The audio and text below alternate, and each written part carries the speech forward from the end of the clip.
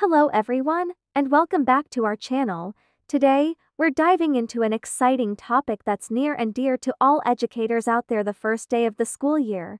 Whether you're a seasoned teacher or just starting out, we've got a bunch of fantastic ideas lined up for you. Alright, tip number one, let's set the tone for an amazing year ahead. Greet your students at the door with a warm smile and a positive attitude. Remember, that first impression matters, so make them feel welcomed and excited about what's to come. Now, it's time for a fun icebreaker activity. This could be anything from two truths and a lie, to a get to know you bingo game. Icebreakers help break down those initial barriers and create a comfortable environment for your students to engage with each other. Next up, give your students a tour of their new learning space. Point out key areas like the reading nook, the math corner, and of course, where the supplies are kept. This helps them feel more at ease and know where everything is located. Now, let's talk about goal setting. Encourage your students to think about what they want to achieve this year, both academically and personally. Have them write down their goals and display them in the classroom.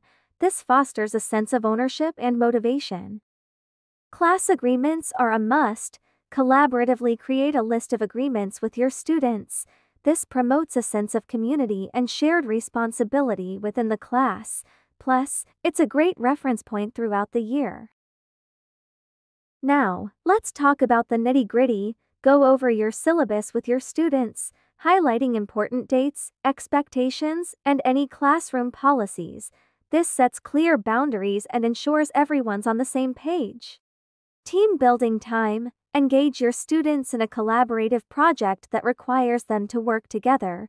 It could be a simple problem solving activity or a creative challenge. This helps them bond and learn the value of teamwork. Last but not least, wrap up the day with a a Q and a session.